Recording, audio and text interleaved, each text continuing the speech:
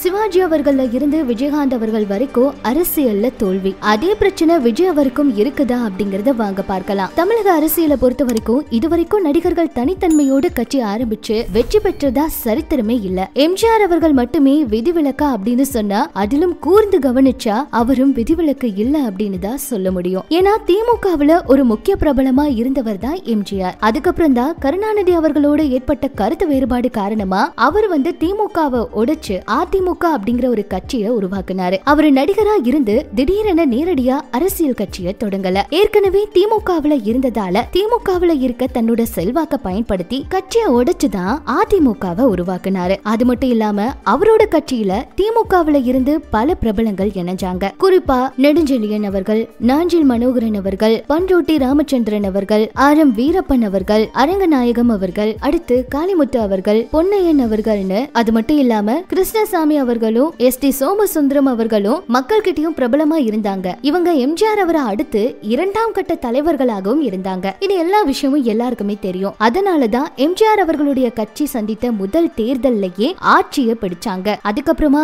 ஜெயலலிதா அவர்கள் அடுத்த கட்டுக்கோப்பான கட்சியை தன்னோட வசப்படுத்தி ஆட்சி செஞ்சாங்க. இதனாலதான் எம்ஜிஆர் அவர்கள் ஜெயலலிதா அவர்கள் ரெண்டு பேருமே நடிகராக இருந்து நேரடியா அரசியல் கட்சி ஆரம்பிக்கல அப்படிங்கிற விஷயத்த இங்க வந்து குறி குறிப்பிட்டு சொல்றோம். ஆனா அதுக்கப்புறமா வந்தவங்க அரசியல் பின்னணியில சில ஆண்டுகள் இருந்திருந்தாலும் திடீர்னு கட்சியை ஆரம்பிச்சாங்க. குறிப்பா சிவாஜி கணேசன் அவர்கள் காங்கிரஸ் கட்சியில சில வருஷம் வந்துட்டு தமிழக முன்னேற்ற முன்னணி அப்படிங்கிற ஒரு கட்சியை ஆரம்பிச்சாரு. ஆனா அவர் கட்சி ஆரம்பிச்சப்ப காங்கிரஸ் கட்சியில எந்த பிரபல தலைவர்களும் அவரோட வரவே கிடையாது. அவருடைய திரை உலக நண்பர்களான மேஜர் சுந்தர்ராஜன் அவர்களும் வி. கே. ராமசாமி அவர்களும் அந்த கட்சியில பரவலா இருந்தாங்க. அதே மாதிரிதான் சிவாஜி அவர்களை அடுத்து கட்சி ஆரம்பிச்ச பாக்யராஜ் அவர்களும் டி ராஜேந்தர் அவர்களும் சரத்குமார் அவர்களும் அடுத்து விஜயகாந்த் அவர்களும் கமல்ஹாசன் அவர்களும் கூட இதே பிரச்சனைய சந்திச்சாங்க. கட்சி ஆரம்பித்த நடிகரை தவிர இரண்டாம் கட்ட தலைவர்கள் அப்படின்னு ஒருவரும் இவங்களோட கட்சியில இல்லவே இல்ல. என்னதான் ஒரு நடிகர் பிரபலமா இருந்தாலும் அவரு ஒரு தொகுதியில மட்டும்தானே போட்டியிட முடியும். இருநூற்றி முப்பத்தி நாலு தொகுதிகள்லயும் அவரே போட்டியிட முடியாது. குறைந்தபட்சம் நூறு தொகுதிகள்ல போட்டியிடுவதற்கு அந்தந்த பகுதியில இருக்க பிரபலமானவர்கள் நடிகர்களோட கட்சியில இல்ல அப்படிங்கறதுனாலதான் ஆட்சியை பிடிக்க முடியாத நிலை ஏற்பட்டிருக்கு. இதுல ஓரளவு விதிவிலக்கா விஜயகாந்த் அவர்கள் இருந்தாலும் அவரோட உடல்நிலை காரணமா தான் அவர் அரசியல்ல தோல்வி அடைஞ்சாரு. இந்த பிரச்சனை இப்ப இருக்க விஜய் அவர்களுக்கும் இருக்குங்க. விஜய் அவருடைய தமிழக வெற்றி கழகம் தனித்து அனைத்து தொகுதிகள்லயும் போட்டியிட போகுது. அப்படின்னா இருநூத்தி முப்பத்தி நாலு தொகுதிகள்லயும் ஓரளவுக்கு அந்தந்த பகுதியில பிரபலமான வேட்பாளரை போட்டியிட வைக்க முடியும். விஜய் அவர்களும் புசி ஆனந்த தவிர வேற யாரையுமே பொதுமக்களுக்கு தெரியாது. இரண்டாம் கட்ட தலைவர்கள் மூன்றாம் கட்ட தலைவர்கள் விஜய் அவருடைய அரசியல் கட்சியில